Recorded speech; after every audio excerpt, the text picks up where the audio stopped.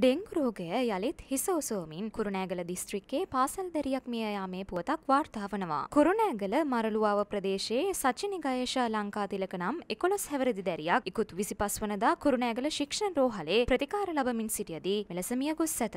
October මාසය තුල පමණක් ඩෙංගු රෝගීන් 228 දෙනෙකු කුරුණෑගල ශික්ෂණ රෝහලට ඇතුළත් කර ඇති අතර ඉන් වාර්තා වූ පළමු මරණය මෙම දැරියකේ මරණය බව එම රෝහලේ අධ්‍යක්ෂ ASK යාපා බණ්ඩාර මහතා නිවුස් අයි වෙත සඳහන් කළා.